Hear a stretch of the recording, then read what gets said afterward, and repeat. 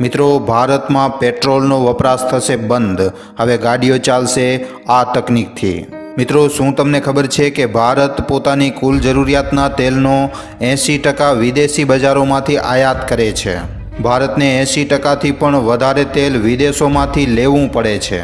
જેના કારણે ઇન્ટરનેશનલ માર્કેટમાં કાચા તેલના ભાવ ઘટવાથી અથવા વધવાથી ખૂબ જ વધારે પ્રભાવ આપણા ભારત દેશના તેલના ભાવો ઉપર પડે છે.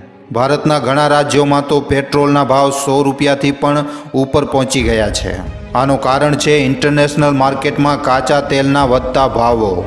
ઇન્ટરનેશનલ માર્કેટમાં કાચા તેલના ભાવ સિત્તેર ડોલર પ્રતિ બેરલથી પણ વધારે છે. ભારત સરકારને આ પહેલાંથી જ ખબર છે કે આવાવાળા સમયમાં વિદેશોમાંથી તેલ લેવું ખૂબ જ મોંઘું પડવાનું છે. સરકાર લાંબા સમયથી પેટ્રોલના વપરાશને બંધ કરવાની યોજના બનાવી રહી છે. લગભગ તમારામાંથી ઘણા લોકો નહીં જાણતા હોય કે આ યોજના ઉપર કામ ચાલુ પણ થઈ ગયું છે. મિત્રો, ભારતમાં પેટ્રોલ બંધ થવાનો અમે ખાલી અંદાજો નથી લગાવી રહ્યા. પણ પોતે ભારતના રાજ્ય માર્ગ મંત્રી નીતિન ગડકરીએ આ વાત કહી છે. એમણે જણાવ્યું છે કે આવનારા પાંચ વર્ષોમાં પેટ્રોલનો વપરાશ ભારતમાં પૂરી રીતે બંધ કરી દેવામાં આવશે. હવે મિત્રો, જો પેટ્રોલ બંધ થઈ ગયો તો પછી ગાડીઓ ચાલશે કેવી રીતે? એવી કઈ તકનીક છે જેનાથી વાહન ચાલી શકશે? તો આજના આ વિડીયોમાં હું તમને જણાવીશ કે પેટ્રોલ બંધ થવાવાળી વાતમાં કેટલી સચ્ચાઈ છે અને પેટ્રોલ બંધ થઈ ગયા પછી શું કોઈ બીજી તકનીક છે જે પેટ્રોલની જગ્યા લઈ શકે છે? તો મિત્રો, આવા તમામ પ્રશ્નો ઉપર આજના આ વિડીયોમાં આપણે ખૂબ જ વિસ્તારપૂર્વક વાત કરવાના છીએ. માટે આ વિડીયોને છેલ્લે સુધી જોવા તેમજ લાઈક અને શેર કરવા ખાસ વિનંતી. તો મિત્રો, પેટ્રોલ બંધ થવાવાળી વાતમાં સો ટકા સચ્ચાઈ છે. આ એવું બની શકે કે પેટ્રોલનો વપરાશ બંધ થવામાં પાંચ વર્ષોથી પણ વધારે સમય લાગી જાય. પણ નીતિન ગડકરીએ પોતે પાંચ વર્ષોમાં પેટ્રોલ બંધ કરવાની વાત જણાવી છે. પેટ્રોલ અને ડીઝલથી પ્રદૂષણ કેટલો થાય છે, એનાથી તો તમે પણ પરિચિત હશો જ. માટે સરકારે ઘણા વર્ષો પહેલાં જ વાહન ચલાવવાના ઇકો ફ્રેન્ડલી ઉપાયો ઉપર કામ ચાલુ પણ કરી દીધું હતું. હવે તો આંતરરાષ્ટ્રીય બજારોમાં કાચા તેલની વધતી કિંમતોએ સરકારને એવી કોઈ યોજના બનાવવા ઉપર મજબૂર કરી નાખ્યું છે, જેનાથી પેટ્રોલ ઉપર નિર્ભરતાને જલ્દી જ ઓછી કરી શકાય. નીતિન ગડકરીએ તો એમ પણ કહ્યું કે પેટ્રોલ ઉપર સંપૂર્ણ પ્રતિબંધ લગાડી દેવામાં આવે તો સારું થશે. મિત્રો, સરકાર એવા નિયમ બનાવવાની યોજના તૈયાર કરી રહી છે કે પેટ્રોલની કાળા બજારી પણ સંભવ નહીં રહે. હવે તમે એમ જ વિચારી રહ્યા છો કે આખરે પેટ્રોલ વગર ગાડીઓ ચાલશે કેવી રીતે? તો આ વિષયમાં પણ નીતિન ગડકરીજીએ જણાવ્યું છે, જેનાથી દરેક ભારતીયો પહેલાંથી જ તૈયાર થઈ જાય અને નવી તકનિકમાં સરકારનો સપોર્ટ કરે. એમણે જણાવ્યું કે વિકલ્પની રીતે ગ્રીન હાઇડ્રોજનનો ઉપયોગ સૌથી બેસ્ટ હશે, જેને ઊંડા કૂવાના પાણીમાં બનાવી શકાય છે અને સિત્તેર રૂપિયાની કિંમતમાં વેચી શકાય છે. ગ્રીન હાઇડ્રોજન સિવાય બધા વાહન, ઇથેન, ઓઇલ અને સીએનજીથી પણ ચલાવવામાં આવશે. આની સાથે સાથે ઇલેક્ટ્રિક વ્હીકલ ઉપર પણ કામ ચાલુ કરી દેવામાં આવશે. મિત્રો, બે હજાર બાવીસમાં જુલાઈ મહિનામાં મહારાષ્ટ્રના અકોલામાં પંજાબ રાબ દેશમુખ ઋષિ વ્યાસપીઠમાં. નીતિન ગડકરીને ડોક્ટર ઓફ સાયન્સની ઉપાધિ મળી હતી અને આ જ પ્રોગ્રામમાં એમણે આ બધી વાતો જણાવી હતી. એમણે જણાવ્યું કે દેશના કિસાન ખાલી ઘઉં, ચોખા અને મકાઈની ખેતી કરીને પોતાનું ભવિષ્ય નથી બદલી શકતા. હવે સમય એવો આવી ગયો છે કે કિસાનોને ઉર્જાદાતા બનાવવું પડશે. મિત્રો, ઇથેન ઓઇલને ખેતીથી જ પ્રોડ્યુસ કરવામાં આવે છે. આ એક એવો ઈંધન છે જેને પેટ્રોલ સાથે ભેળવીને વપરાશમાં લેવામાં આવે છે. એટલું જ નહીં, પણ ભારત સરકારે પેટ્રોલમાં દસ ટકા ઇથેન ઓઇલ ભેળવીને પ્રયોગ પણ કરી લીધું છે, જે એકદમ સફળ રહ્યું છે. પેટ્રોલમાં દસ ટકા ઇથેન ઓઇલ ભેળવવાથી પાછલા વર્ષે વીસ હજાર કરોડ રૂપિયાની બચત થઈ છે. હવે આગળનો લક્ષ્ય પેટ્રોલમાં વીસ ટકા ઇથેન ઓઇલ ભેળવવાનો છે. મિત્રો ઇથેનોઇલ એક પ્રકારનો એલ્કોહોલ જ છે, જેને ઈંધણની રીતે વપરાશમાં લેવામાં આવે છે.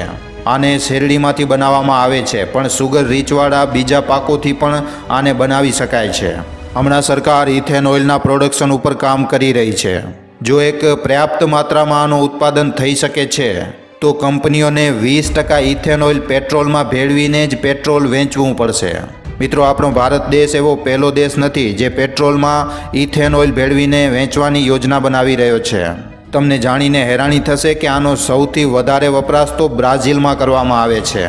બ્રાઝિલમાં મિત્રો, લગભગ ચાલીસ ટકા વાહન પૂરી રીતે સો ટકા ઇથેન ઓઇલ ઉપર જ ચલાવવામાં આવી રહ્યા છે. આના સિવાયના જે વાહન છે એ ચોવીસ ટકા ઇથેન ઓઇલવાળા પેટ્રોલ ઉપર ચાલી રહ્યા છે. આના સિવાય સ્વીડન અને કેનેડામાં પણ આનો વપરાશ ખૂબ જ ઝડપથી વધી રહ્યો છે. ભારત સરકાર હવે ઇથેન ઓઇલના ઉત્પાદન અને આના વપરાશ માટે લોકોને જાગૃત કરી રહી છે.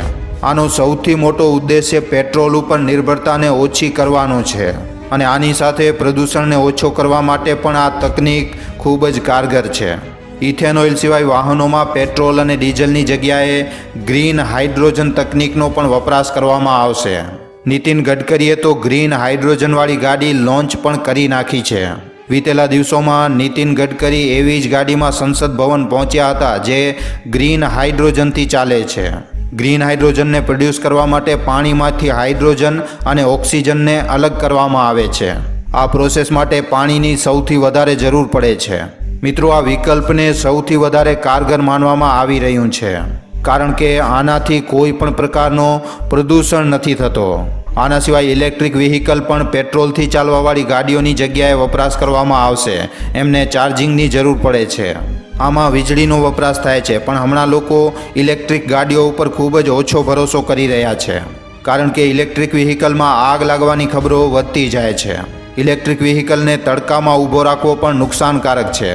કારણ કે તડકામાં વધારે ગરમ થઈ જાય છે અને એમની અંદર લિથિયમ હોવાના કારણે એમાં આગ લાગી જાય છે.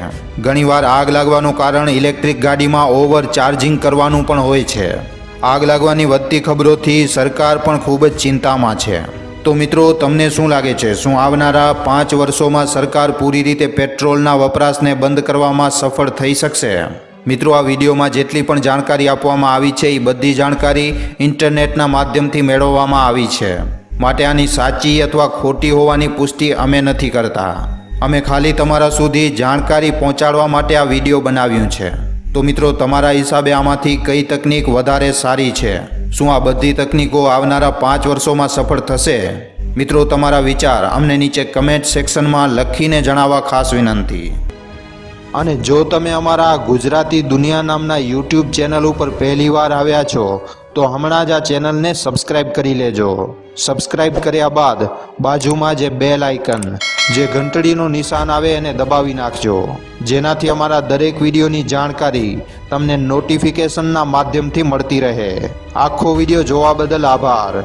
હવે આપણે મળીશું એક આવા જ નવા જાણકારી સભર વિડીયોમાં. ધન્યવાદ.